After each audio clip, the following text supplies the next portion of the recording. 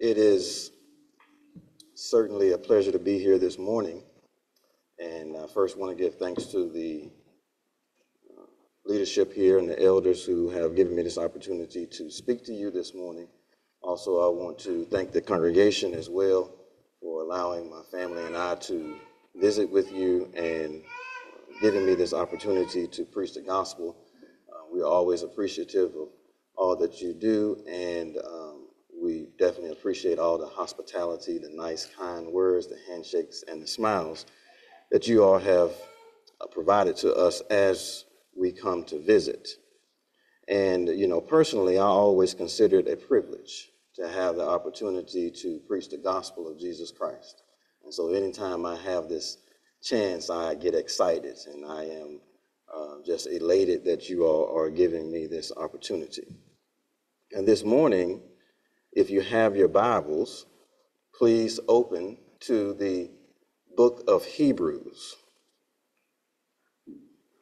The book of Hebrews, chapter 12. We'll take our message from there this morning, Hebrews chapter 12, verses 1 and 2.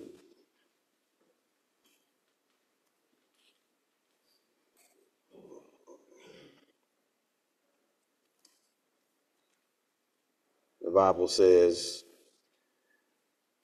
Wherefore, seeing we also are compassed about with so great a cloud of witnesses, let us lay aside every weight and the sin which does so easily beset us, and let us run with patience the race that is set before us, looking unto Jesus the author and finisher of our faith, who for the joy that was set before him endured the cross, despising the shame, and is set down at the right hand of the throne of God. And the title of today's message is going to be Running the Christian Race. Running the Christian race. Now, how we live our lives while we are on this earth has a direct impact on where we will spend eternity.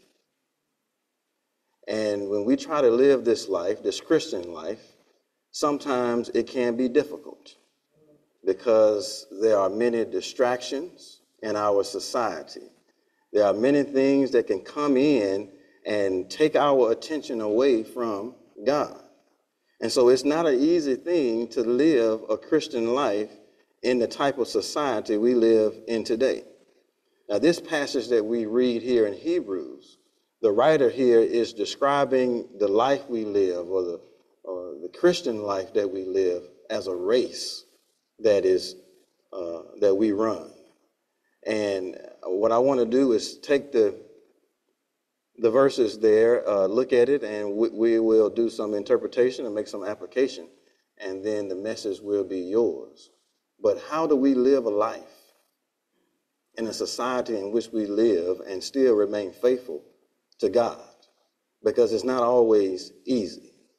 And as we look at this passage and we think about running the Christian race, I think the first thing that we must understand about running the Christian race is that we must line up at the window. And what I mean by line up at the window, re- line up at the registration window.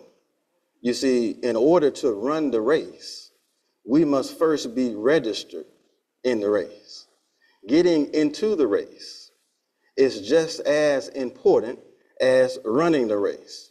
You see, it's possible for a person to run the race and, uh, and not be in the race. Imagine if a person was in the Olympics and they were running the 100 meter dash and everyone lined up at the starting blocks. And then you have another individual who's just outside the lines, maybe in the grass. And the gun goes off and everybody runs to the finish line. And when they get to the finish line, the person who ran the race that was outside of the lines, they are not going to be recognized at the award ceremony. Why not? Because they were never in the race. And so it's very important for us to understand that we must first get into the race if we're going to be rewarded at the end of the race. And I submit to you today that in order to run the Christian race, we must be registered at the uh, cross of Jesus Christ. That's where it begins. And what does it cost us? It costs us honesty when we read the Word of God. It costs us obedience. It's going to cost us sincerity. It's going to cost us humility. When we are willing to do those things, then we can be registered for the race. Now, you know, a lot of times when you are registering for a race, any type of competition of, of that matter, you must have some type of uh, identification, some way for people to know that you belong here. And I believe God has given us that in His Word when He tells us we must be born again. You see, when we read John chapter 3 and verses 3 through 5, the Bible says, Jesus said, uh, Verily I say unto thee, except a man be born again, he cannot enter into the kingdom of heaven. Nicodemus said unto him, How can this be so? Can a man enter a second time into his mother's womb? And Jesus says, Verily, verily, I say unto you, except a man be born of the water and of the Spirit, he cannot see the kingdom of God. See, we must first be registered in the race, and that requires us to be born again. Now, there are some people in this life who are running the Christian race. They are living good moral lives. They may be going to church every Sunday. They may be giving giving of their means. They may be praying to God every every day. They may be doing all the things that a person should do if they were going to call themselves a Christian, but these people would not be rewarded at the end of the race. Why? Because they never got in the race. You see, Satan doesn't care if you run. Satan says, run on. Run all you want to run. As long as you don't get in the race, when you get to the end of life, you're not going to get the reward that you thought you were going to get. So before we begin to think about running the Christian race, we must first understand that we must line up at the window. But look at the text. The text says, Wherefore, seeing we are also compassed about with so great a cloud of witnesses. See, not only must we line up at the window, but we must learn from the witnesses. See, the Bible says here, when you see wherefore, wherefore connects what the writer is about to say to what has already been stated previously. So we know previously Hebrews chapter 11 which we all have read and people have come to understand Hebrews chapter 11 to be the hall of faith. All the great men and women of the Bible are mentioned there, and, and they were mentioned about how great a faith they had. So those individuals that we read about in Hebrews chapter 11 have already run the race. And they are examples for us. They are witnesses to us. Just as if you were uh, in the Olympic Stadium and a person gets ready to run around the track in the race, and you have all the people in the stands sitting there watching them run around the track, and people in the stands cheering them on. They are encouraging, encouraging them to continue on and fight forward so that they can finish the race. This is similar to what the writer is saying to us, not that the people in heaven are watching us, but as we live in the theater of life, we have some witnesses. That is, we have some people that we can look at their testimony and we can learn from them, and it can encourage us to continue to run the race. Their lives are a testimony for us to draw upon as examples about how to live. So you go back to Hebrews chapter 11 and you see Abel teaches us how we ought to worship. So he offered his, his worship to God by faith. Enoch teaches us how we can walk with God and God will accept us. Noah teaches us how it is important to prepare ourselves. And also, he teaches us that we should persevere in the face of adversity when the whole world is against us. Noah teaches us that we can continue to believe and trust in God. Abraham teaches us that we can obey God, even if it means to give up the thing that I love the most. And if I'm willing to obey God to that point, then God will provide a way. Sarah teaches us that we can always have hope. Despite her age, Sarah always believed and hoped and in God that he would fulfill his promise. You see, no matter what we are dealing with in our lives, we can always have hope. And that's what Sarah teaches us. Daniel teaches us that we can be courageous and we can always stand for what's right, knowing that if we stand for what's right and we are courageous, then God will deliver us. Joseph, uh, one of the 12 brothers, of the tribes of Israel, he teaches us how we can run away from sin. And he also teaches us that we can have compassion on people who have wronged us, even when they don't deserve it. Look at all the apostles.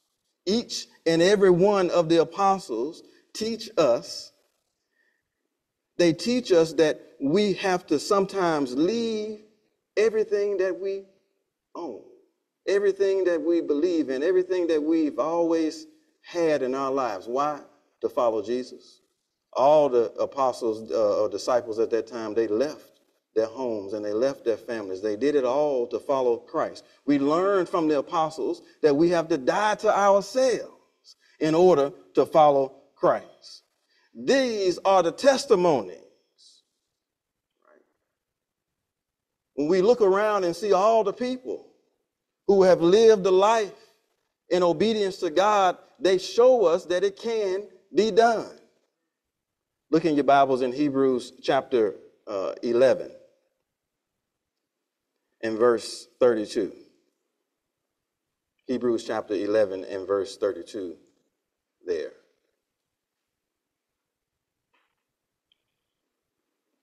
The Bible says, and, and what shall I say more?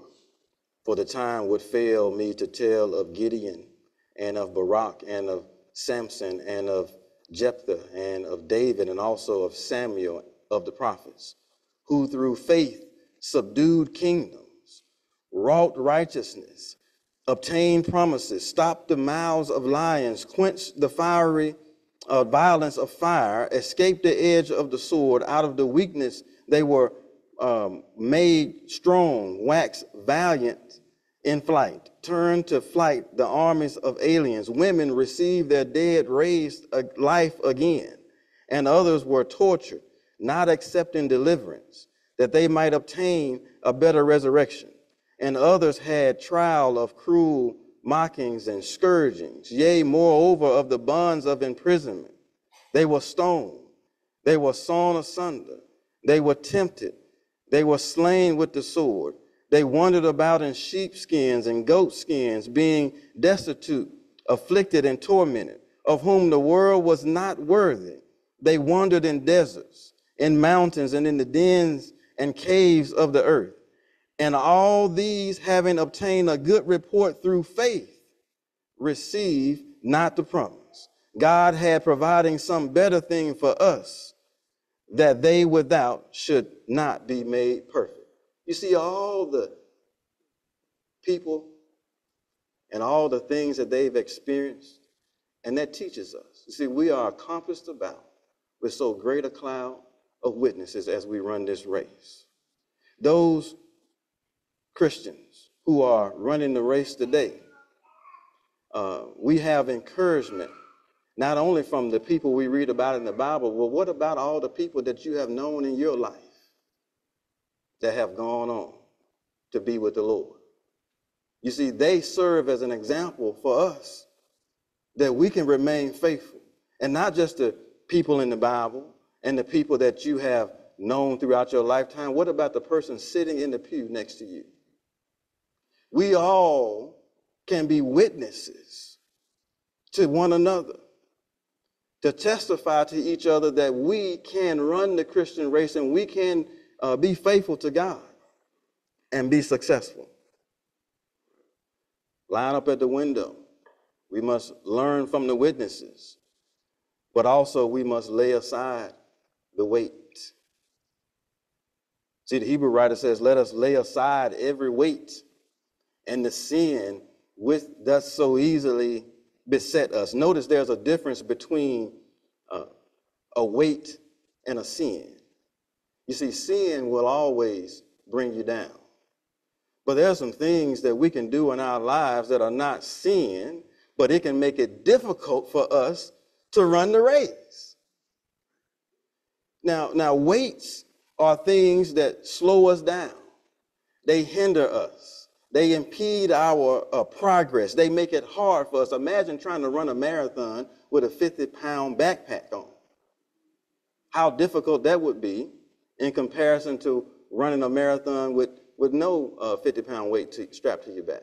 Now, oftentimes, runners in that day, what they would do, they would try to um, take off as many clothes as possible so that they can be as light as possible when they run the race so they can help them as they run. People still do it today. When you watch uh, the Olympic Games or any type of uh, race, you see people, they wear very little clothing, and the clothing is very thin. And the reason why they wear clothing like that is because they don't want anything to hold them down.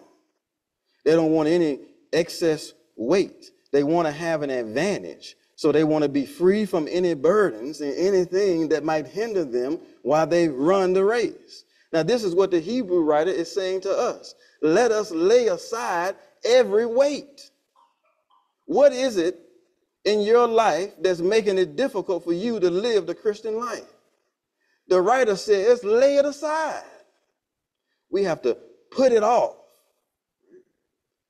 Things such as setting our affections on things of this earth. You see, Paul says, set your affections on things above and not on things of this earth. See, if you set your affection on things of this earth, it's going to hold you down. Jesus even said that it's easier for a camel to go through the eye of a needle than for a rich man to go to heaven. It's not saying that it's a sin, but what he's saying is that it's going to be harder for you to run the race if you have some things in your life. What about uh, the love of money? says the root of all evil. What about procrastination? What about apathy? Apathy is person, I just don't care about certain things. What about fear? What about worry? See, all these things that we can be involved in or they can be a part of our lives, not necessarily a sin, but it's going to make it hard for you to run the Christian race. So he says, let us lay aside every weight. And then he says, the sin which does so easily beset us. Paul says in Ephesians chapter 4 and verse 22, he says that you put off the former man concerning the former way of life of the old man, which was corrupt to the deceitful, according to the deceitful lust. Hebrews, not Hebrews, uh, Ephesians chapter 4 and verse 22 there down to about verse 24. But he says the sin which does so easily beset us, and I think some translations has entangled us. So uh, that, that is uh, sin uh, drags us down. It makes it harder to run the race. Uh, some people will look, look at that word beset and it has the idea to distract, that lay aside the sins that distract us. Anything that distracts us from God, where we focus on ourselves, rather than focusing on God is going to hinder us as we run the race. You see, sin is detrimental to all of our lives. And there's, there's a list of sins in the Bible, and you know what they are. But the point is, is that if we have any sins in our lives, then the writer says we need to lay it aside because it's going to make it hard for you to run the race as long as you have sin in your life. He says, lay it aside. So we have to line up at the window. We have to learn from the witnesses. We have to lay aside all the weights that's going to hinder us while we run the race, but also we must learn to withstand. Look at it there. Let us run with patience the race that is set before us. The, the word patience there literally means to endure. So let us run with endurance uh, that race that is set before us to endure means the characteristic of a man or a woman who is n- not swerved from his or her deliberate purpose and his or her loyalty to faith and piety by even the greatest trials or sufferings. See, there are going to be some difficulties in life that we all have to deal with. There are going to be some challenges in life that we're all going to have to face and overcome. There are going to be some temptations that we're all going to have to deal with. There are going to be some trials that we're going to have to work our way through in our lives. But what God is saying to us is that He's asking us to endure. Just be strong and stick it out to the end. If you stay faithful to God, then He's going to save you in the end. That's what He says. Let us run with endurance the race that is set before us. You see, it's going to take a certain amount of perseverance in order to live this life in such a way that we hear the words, Well done, thou good and faithful servant. It's not going to be easy, but one thing we can count on is that God is always going to be there. I will never leave you, nor will I forsake you. So as we run this race, there has to be some endurance. But look at what he says is the race that has been set before us. The race is already set, right? The word, the, the, the idea there, the race has been set. The course has already been mapped out. Right? Uh, John says, love not the world, neither the things that are in the world, for all that is of the world is the lust of the flesh, the lust of the eyes, and the pride of life. It is not of the Father, but it is of the world. So those are the only three ways that Satan can tempt you right? The course is already mapped out. There's three ways that Satan is going to try to attack us lust of the flesh, lust of the eyes, and the pride of life. But also, John says in 1 John 5 and verse 4, he says, faith is the victory that overcomes the world. The course has already been set. And all we have to do today is to just endure the race until the end. Now, there are different types of races uh, that, that, that we can run. All races are not the same. You know, some races are sprints and some races are marathons. Now, the type of race that you run is going to have an impact on how you prepare for the race. It's going to impact how you actually run the race when you get in the race. You see, if you take the wrong approach to the race, then you may end up losing the race. So if the race is a sprint, then what do you do? That means you want to use up all the energy you can so that you can get to the finish line as fast as you can. If the race is a marathon, right, you want to conserve your energy and pace yourself so that you can have enough to get to the finish line. So, what am I saying? The Christian race is not a sprint. I know a lot of us, when we first became baptized, we were all excited and we were gung ho about everything, and we wanted to go out and save the world. And then soon, soon that fire kind of slowed down a little bit, and we realized, well, maybe I can't save everybody. But that's because we, we approach it in, in a certain way that may have not been the most helpful. All right. So we, we must treat the Christian race as if it's a long distance marathon. Paul even says, Let us not grow weary in well doing, for in due season we shall reap if we faint not. 1 Corinthians chapter 15 and verse 58, Paul says, Therefore, my beloved brethren, be ye steadfast and unmovable, always abounding in the work of the Lord, for as much as ye know that your labor is not in vain in the Lord. See, one thing we have to understand about the Christian race is that the Christian race is a process, not a contest. Now, stay with me. I want, I want to say that again. Uh, don't, don't, don't, don't leave me here. The, the Christian race is a process, not a contest. We are not racing against each other. We are racing against the course, so to speak, the world. Right? Uh, many people have this mentality today. They think it's all about, I want to try to outdo you. I want to do more than you. You do more than me, so on and so forth. And that, that's how we live in our society in general. Right? Uh, but but that, that's not the way it should be in the church. In 2 Corinthians 10 and verse 12, Paul says, For we dare not compare ourselves to ourselves. Then he says in Romans chapter 12 and verse 15, Rejoice with them that rejoice, and weep with them that weep. You see, we are all in the same boat. We are all living on the same earth, living in the same world. We're all striving, trying to make it to the same place. And so we ought not be in competition with each other, but we need to learn to have more compassion toward one another. You see, when we are running the race and we see our brother or our sister stumble and fall, we don't step over them. We don't uh, uh, pass by on the other side like the priest and the Levite. What do we do? When we see our brother and sister stumble and fall, then we stop and we lift them up so that we can all finish the race together.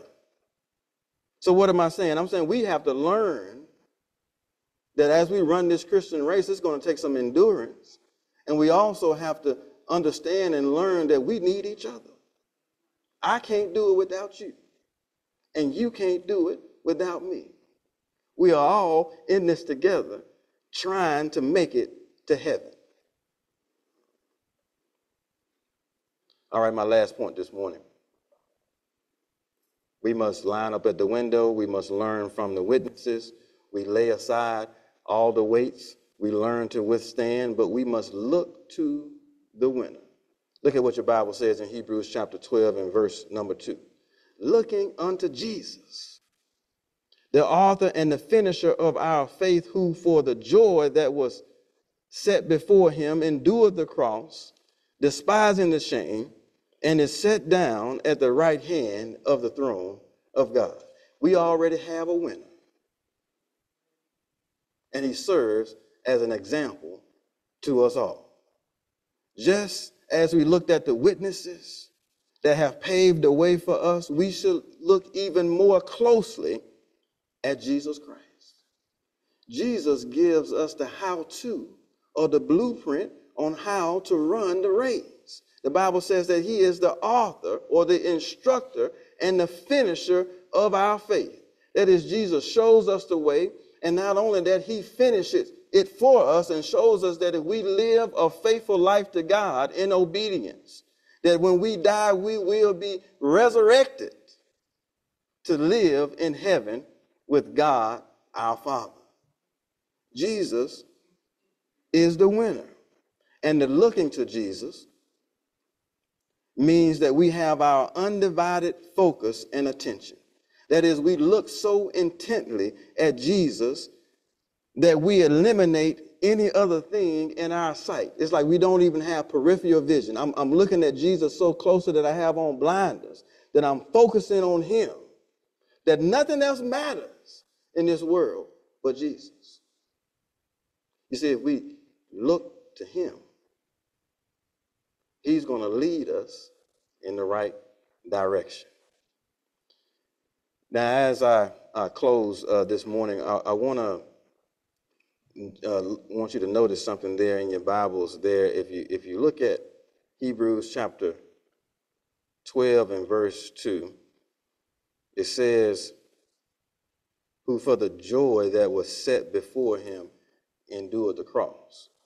But if you back up to verse 1, it says that let us run with patience the race, or let us run with endurance. If it says patience there for some reason, let us have endurance for the the race that is set before us. So, so the same words are used there when it says the joy that was mapped out for Jesus, set before him. He endured the cross. And so the race that is mapped out before us, we should be able to endure.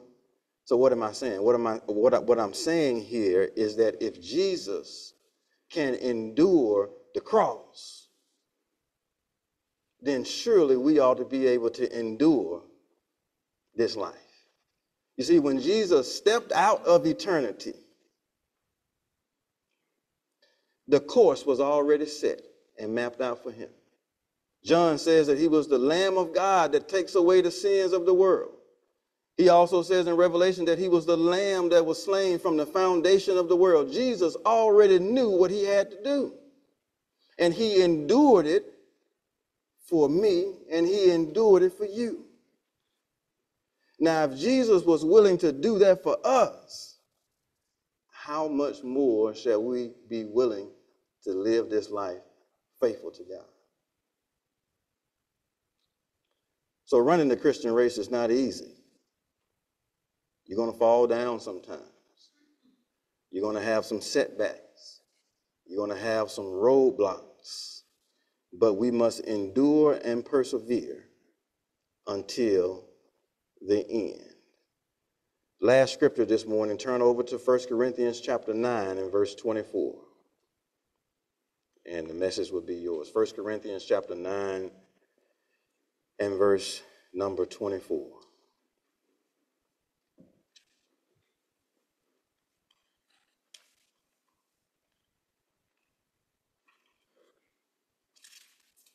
First Corinthians chapter 9 and verses 24 and 25, Paul says, Know ye not that they which run in a race run all, but one receiveth the prize, so run that ye may obtain.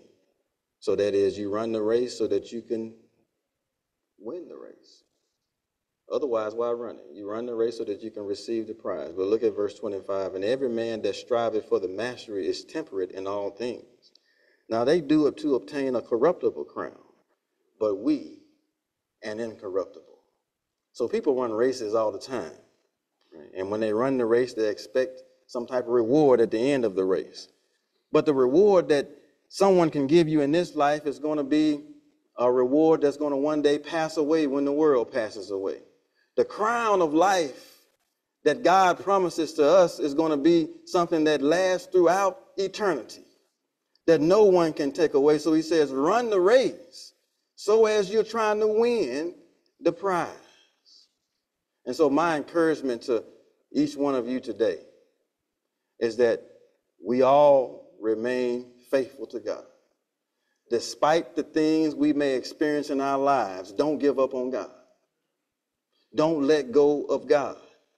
I want you to remember that the reason why we are here today is because of God and the great sacrifice that he made through Jesus Christ. So don't give up on God. Don't don't stop being faithful to God because God promises is if that if we remain faithful to him and endure to the end, then he's going to save us.